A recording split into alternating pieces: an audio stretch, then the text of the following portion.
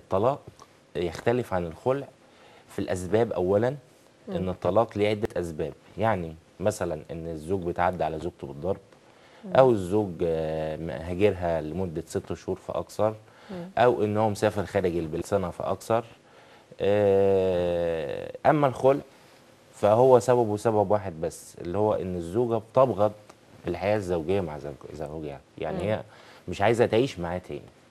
خلاص ال- الأمر استحكم إن هي خلاص مش قادرة تعيش معاه تاني. لكن الطلاق للضرر آه بيبقى له أسبابه وأسباب كتيرة لا حصر لها. آه منها مثلا برضو عدم الإنفاق يعني لو الزوج ما بينفقش على زوجته. آه. آه، منها ال- الخصى أو الأمراض الجنسية أو خلافه كل دي بتكون أسباب للطلاق للضرر.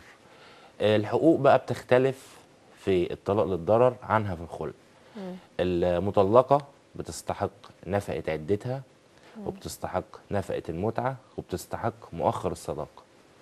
نفقة العدة دي حضرتك بتقدر بثلاث شهور آه، من النفقة اللي هي بتتحكم للزوجة بها نفسها. تقدر بثلاث شهور. دي نفقة العدة. نفقة الم- المتعة أقل مدة ليها 24 شهر. بالإضافة لمؤخر الصداق اللي هو منصوص عليه في عقد الزواج. وده طبعا بتبقى الزوجة عارفاه عشان بيبقى مكتوب في في قسيمة الزواج قسيمة الزواج. آه.